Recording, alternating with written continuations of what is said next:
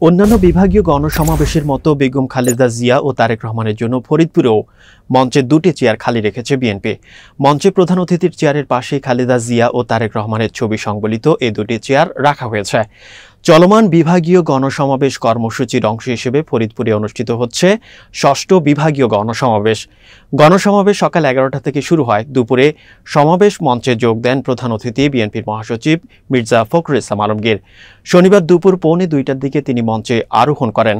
তার সাথে গণসমাবেশ মঞ্চে আসেন বিএনপির স্থায়ী কমিটির সদস্য মির্জা আব্বাস স্থায়ী কমিটির সদস্য আমির খসরু মাহমুদ চৌধুরী। এদিকে সমাবেশের আগের দিন থেকেই সমাবেশ স্থল নেতাকর্মীদের ভরপুর উপস্থিতি লক্ষ্য করা যায়। অনেক নেতাকর্মী সমাবেশ স্থলে রাত কাটান। এদিকে সমাবেশ শুরু হওয়ার পর থেকে মোবাইলে ইন্টারনেট সেবা বন্ধ রাখার অভিযোগ করেন বিএনপির নেতাকর্মীরা। এছাড়া পরিবহন বন্ধ ও রাস্তায় রাস্তায় হয়রানির অভিযোগ করা হয়। বৈদেশিক মুদ্রার রিজার্ভ নিয়ে প্রধানমন্ত্রী শেখ হাসিনা বলেছেন, আওয়ামী লীগ সরকার কখনোই রিজার্ভ থেকে এক পয়সাও নষ্ট করে না। বরং দেশ ও জনগণের স্বার্থে এই টাকা ব্যবহার করে। শনিবার সকালে সতেরো হাজার পাঁচশো তিপ্পান্ন কোটি চার লাখ টাকা ব্যয়ে চব্বিশ কিলোমিটার দীর্ঘ ঢাকা আশুলিয়া এলিভেটেড এক্সপ্রেসওয়ে নির্মাণ কাজের উদ্বোধনকালে দেয়া ভাষণে এ কথা বলেন তিনি। গণভবন থেকে সাভারের আশুলিয়া বাজার সংলগ্ন কনস্ট্রাকশন ইয়ার্ডে আয়োজিত অনুষ্ঠানে ভার্চুয়ালি যোগ দিয়ে প্রকল্পটির উদ্বোধন করেন প্রধানমন্ত্রী। তিনি বলেন, বিএনপি নেতারা সবসময় রিজার্ভের টাকা খরচ নিয়ে প্রশ্ন তোলেন এবং মিথ্যা তথ্য দিয়ে জাতিকে বিভ্রান্ত করার চেষ্টা করছেন।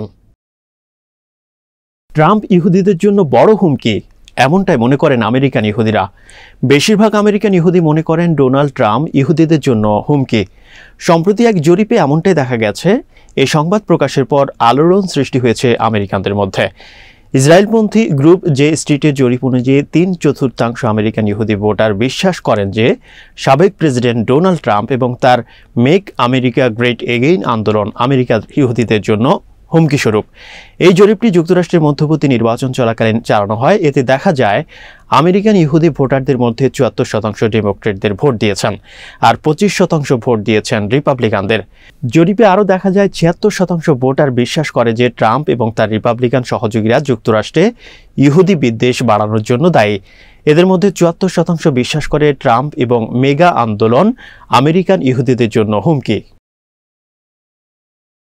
কক্সবাজার সৈকতে শত শত সাদা নৈন্যা বা সাদা জেলিফিশ মৃত অবস্থায় ভেসে এসেছে। ভাটার সময় এসব জেলিফিশ দেখা গেছে। শুক্রবার সকাল থেকে বেলা এগারোটা পর্যন্ত সৈকতের কলাতলি পয়েন্ট সহ একাধিক পয়েন্টে মৃত জেলিফিশ ভেসে আসে। খবর পেয়ে বাংলাদেশ সমুদ্র গবেষণা ইনস্টিটিউটের মহাপরিচালক ও সমুদ্র বিজ্ঞানী সাইদ মাহমুদ বিলাল হায়দারের নেতৃত্বে একদল গবেষক ঘটনাস্থল পরিদর্শন করেছেন। তবে কি কারণে এত জেলিফিশ ভেসে এসেছে সে বিষয়ে তাৎক্ষণিক কিছু জানাতে পারেননি বিজ্ঞানীরা। সমুদ্র বিজ্ঞানী সাইদ মাহমুদ বেলাল হায়দার বলেন, জেলিফিশ স্রোতের বিপরীতে সাঁতার কাটতে পারে না। এ কারণে জোয়ারে ভেসে আসা জেলিফিশ ভাটার সময় সৈকতে আটকা পড়ে। আবার অনেক সময় জেলেদের জালেও আটকা পড়ে, মারা যেতে পারে। এখন পর্যন্ত বিজ্ঞানীদের জানা দুই হাজার প্রজাতির জেলিফিশের মধ্যে মাত্র যে বারোটি প্রজাতির খাদ্য মূল্য আছে, তার মধ্যে সাদা নৈন্যা বা হোয়াইট টাইপ জেলিফিশ অন্যতম। এটি খাদ্য হিসেবে বিভিন্ন দেশে বেশ জনপ্রিয়। এই জেলিফিশটির অন্যতম বিচরণ ক্ষেত্র বঙ্গোপসাগরের কক্সবাজার উপকূল। সমুদ্র বিজ্ঞানী সাইদ মাহমুদ আরও বলেন, বিভিন্ন সময় সাদা নৈন্যা মৎস্যজীবীদের বিহুন্দি জালে অযাচিতভাবে আটকা পড়ে মারা যায়। পরবর্তীতে কক্সবাজার, পটুয়াখালী সহ দেশের বিভিন্ন সমুদ্র সৈকতে ভেসে আসে। অযত্ন অবহেলায় সমুদ্র সৈকতে পড়ে থাকা সাদা নৈন্যা খাদ্য ও প্রসাধন শিল্পের কাঁচামাল হিসেবে ব্যবহৃত হয়।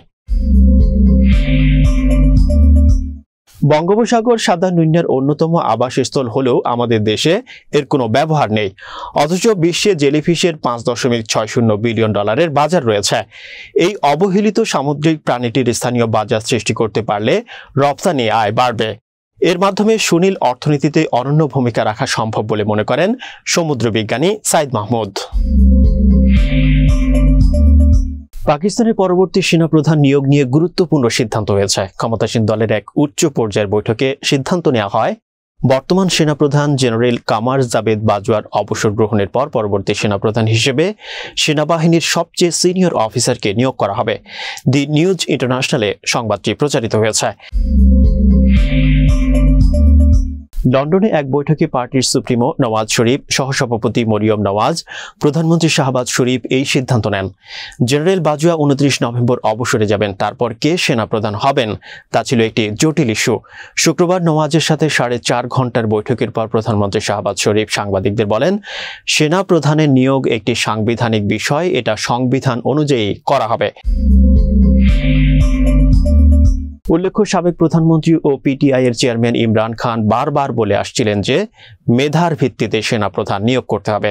সরকারের উপর চাপ বাড়াতে পিটিআই বর্তমানে লং মার্চ আয়োজন করেছে। ইমরান খান আগাম নির্বাচনও দাবি করছে।